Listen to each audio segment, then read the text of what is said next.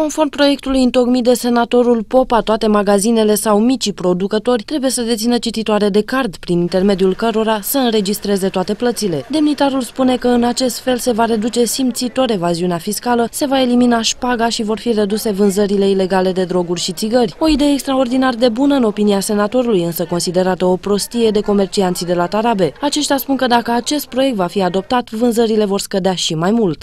O prostie. Cum să vină omul cu cardul să toată lumea te să ai aparate, să ai ce te să ai, nu? Nu credeți că este o idee bună? Păi cum să fie o idee bună? Omul vine cu banul, are, nu are, stai, na, să stai cum să-i dai tu Rusia un producător. Dacă eram o instituție, eram ceva, un, ăsta, un supermarket, da, da, așa. Ce părere să avem? Păi de ce?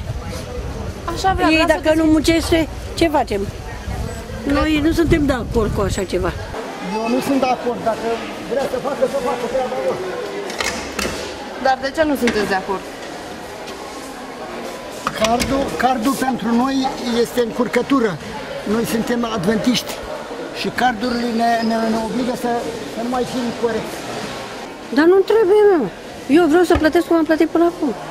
Deci cum am plătit la lună până acum, că noi o plătim la lună.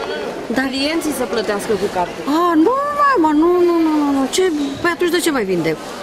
Nu credeți că e o idee bună? Nu, nu, nu, nu, nu, nu, nu, nu, nu. Hai de capul nostru, după ce că nu se vinde, mai vindea și pe card. Senatorul Constantin Popa a afirmat că nu crede că este o problemă ca fiecare vânzător sau comerciant din piață să aibă un cititor de carduri. Este o metodă mult mai simplă de a încasa și nici nu necesită spațiu foarte mare, pentru că are mărimea unui telefon mobil.